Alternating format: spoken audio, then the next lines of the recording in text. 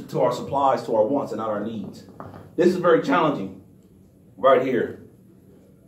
God tests us with blessings. He tests us. Oh man, I can tell you that's a good one. Oh my God, that's a funny story. I gotta tell you this. So I was at work. Happened recently. It was so funny. My gosh, it's so funny. I was at work, right? And I was working, and, and, I, and I found a hundred bucks. Hey, cool. I'm gonna give my oil change. I'm gonna give my oil change. You know, Give my oil change. I didn't. I didn't want to know. I, I get my I get paid a few weeks. I give my oil change though.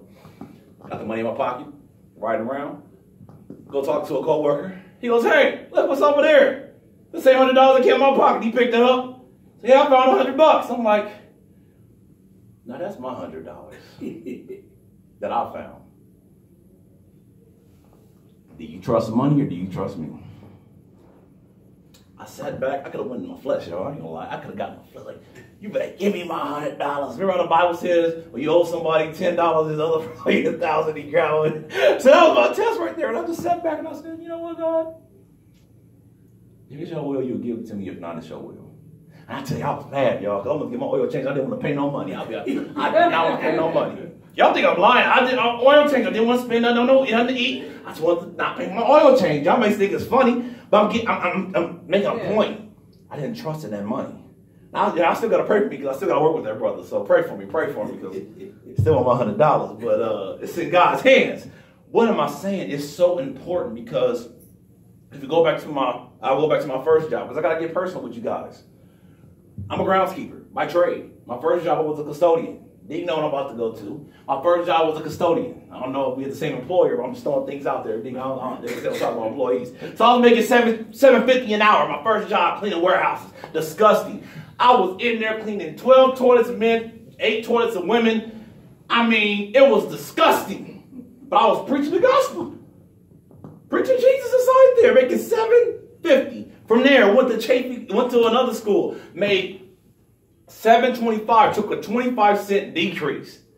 Then from there, God blessed me to go to a school that somebody else in here may have worked at. and they paid me nine bucks an hour. And they slaved me and paid me nine bucks an hour. Slaved me so much they let me go, y'all. They let, they, they let me go and pray for me. You ever been fired and prayed for? Yeah. I've been fired and prayed for at the same time, and they walked me out to my locker.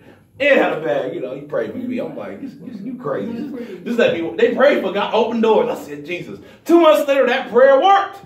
So I got a job at a major university. And I made three more dollars more. So they fired me and prayed for me. Yeah, God opened yeah. the door. Church, you gotta go. Follow me here. Follow me, please. So from there, this major university, loved it. 1350. Had another raise. And they slayed me to death, y'all. I worked so hard, I was cutting side, all kind of stuff. I had, I, I put, uh, what's it called? I had, uh, I, I put two grind muscles, two of them. I'm walking like this with ice packs, you know, just like Pastor Al walking two ice packs, y'all hurting. God bless. In the midst of me being hurt, another job called me to pay me more. In this career, God has blessed me to be a part of a union, to learn more things, be wiser in my money and my spending. They asked me, Diondre, why are you so faithful in ministry? Why are you so faithful going to Banning back and forth? Church, I used to, every day was 12 hours a day. I used to wake up at 5 a.m., come home at 5 p.m. I used to work baseball season 5 a.m. till 12 a.m. It's almost 16 hours, 18 hours. I worked 16 days straight for the man. Then say no days off. And you think I'm going to let up for God? The devil is a lie. Yeah, that was a lie. See, we like to talk about things, but you don't know. Yes.